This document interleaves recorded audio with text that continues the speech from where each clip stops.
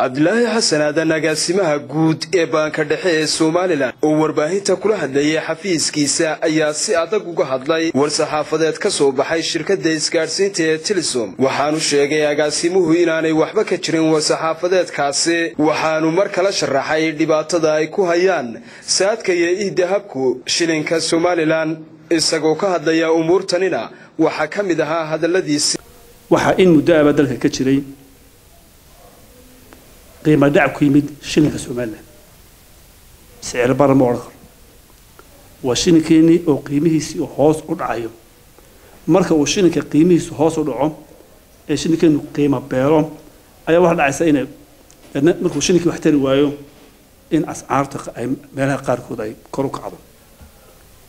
Sida uu dhigayo qodobka labiyo soddonaad ee xeerka baanka dhexe ee jamhuuriyadda somalilan lacagta sharciga ah ee dalkani leeyahay iyo halbeegu waa shilinka somalilan xeerka baanka dhexe waxa uu ku dhisan yahay oo uu ku aasaasan yahay dastuurka qaranka jamhuuriyadda somalilan waxaana laga soo dheegtay qodobka toddobiyo tobanaad ee dastuurka qaranka. Qodobkaasi wuxuu sheegayaa in dalkani yeelanayo dalku inuu yeelanayo baan dhexe oo ka mas'uul noqonaya siyaasadda jaangooyinta lacagta ee qaranka.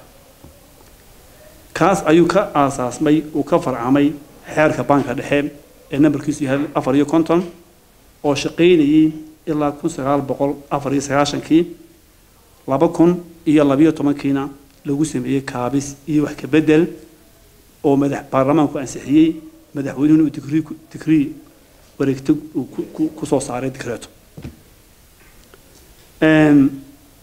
waxa hore u jiri jiray waddanka markii aynu soo galnay xawaalado iyo sariflayaal muddooyinkan dambe sideedan dambe ee sideedan sannadood iyo sagaalka sannadood dambe ayaa waxaa si tartiiba ay isugu bedelayeen baanan dalka waxaa ka jira saddex baan.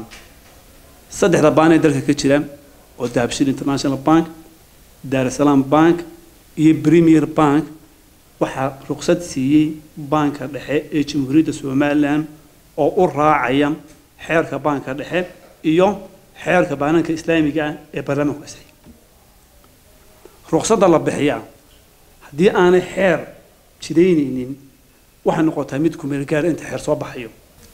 Markii uu noqday aalad lacagta lagu kaydiyo iyo aalad wax lagu kala iibsado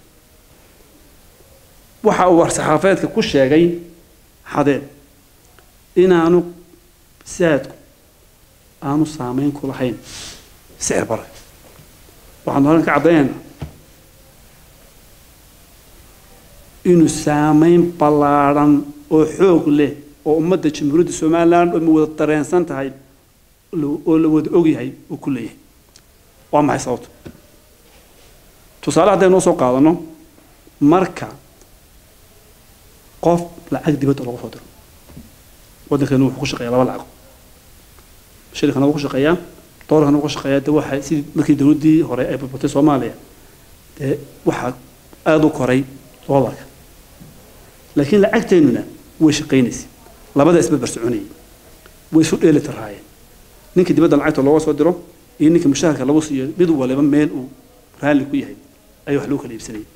Wuxuu keenay boqolka doolar ama kontonka doolar marka la soo diro ee ama xawaalada ama lagu soo hagaajiyo ama lagu soo hagaajiyo xawaalada dahabshiil qofku marka uu xawaalada ka soo baxo waxa uu samayn jiray ugu yaraan labaatan ama toban buu sarifnay. Markuu sarifto ayuu isticmaalayay haddana marka dambu dib u sarifanayay. Marka waxa waxa is-ceshanayay doolarkii iyo shilinkii oo doolarkii dibadda doolarkii dibadda inooga yimid ayaa qofku u baahanayay inuu markaaba dee yaryaraysto. Waxa ay ka saartay oo ay bannaanka dhigtay adeegsiga saadku iyo iidahab oo markii dambe ku soo biiray in isticmaalkii nolol maalmeedka daily transactionkii uu meesha ka baxo. Waa xoolo aynu dhoofino iyo xoogga dibadda. Shirkadahan maxaan ku dhahdaa lacagaha wilaya de lacagtan ay dibadda ka keenayaan waa dadkii dibadda ka xoogsadin bay inuu keenayaan. Waxaa meesha ka baxay xooggii dibadda ee qofku u baahan yahay inuu qayb ka mida lacagtiisa. Sarifto lagu isticmaalo. Waxaa abuurmay sanaati. Dhibic shan iyo labaatan. Dhibic soddon dhibic afartan ayaa bilaabay maxamed cumar cabdilaahi maxamed daariq calson t v. Hargeysa